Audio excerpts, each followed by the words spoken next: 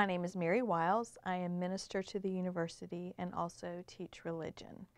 Before coming to Chowan, I was on church staffs and then I also was working with a mission sending agency in the Raleigh area. Uh, was completely off my map and had never even been here till I interviewed, but when I came and I met some students and I met folks here, I saw only possibilities and also saw an area where people really wanted to to learn and grow and not just talk about that. And it just seemed like a natural fit to come and be a partner on everyone's journey here.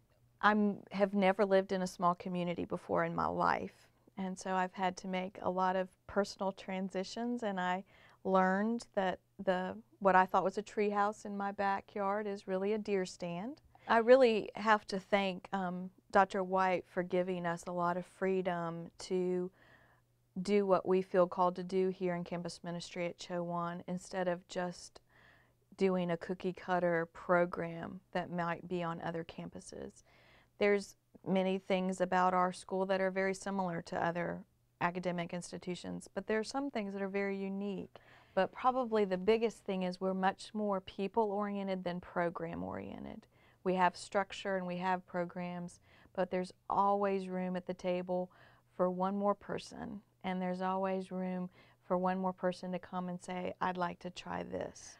But I have a strong belief that the cries of the world and the call of God might sound the same. And not everyone is always experiencing God like they should in worship, but when they go out to serve in the name of God, I always see them encounter God in a powerful way.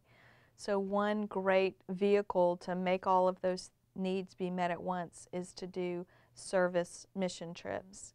Since I've come and we've done things like a Habitat for Humanity trip in New Jersey, we've done um, inner city children work in East St. Louis. We've also gone back there and been camp counselors for their um, summer camp. Right now are working to fulfill a request to go to Mamupani, South Africa with a group of students. I guess I'm amazed at how willing our students are to put themselves in a position that's uncomfortable or out of their comfort zone because they really do want to serve.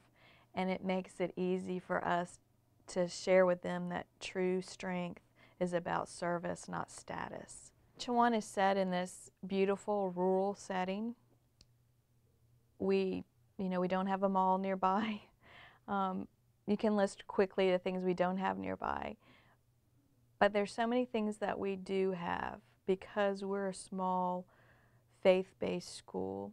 But I think that there's something magical that can happen here because we're small. Many, I'm amazed at the amount of students that say, I'm just going to be here for a semester or a year, that then I see them walk across the stage at graduation. Doesn't matter what brings the student here. What matters is the student.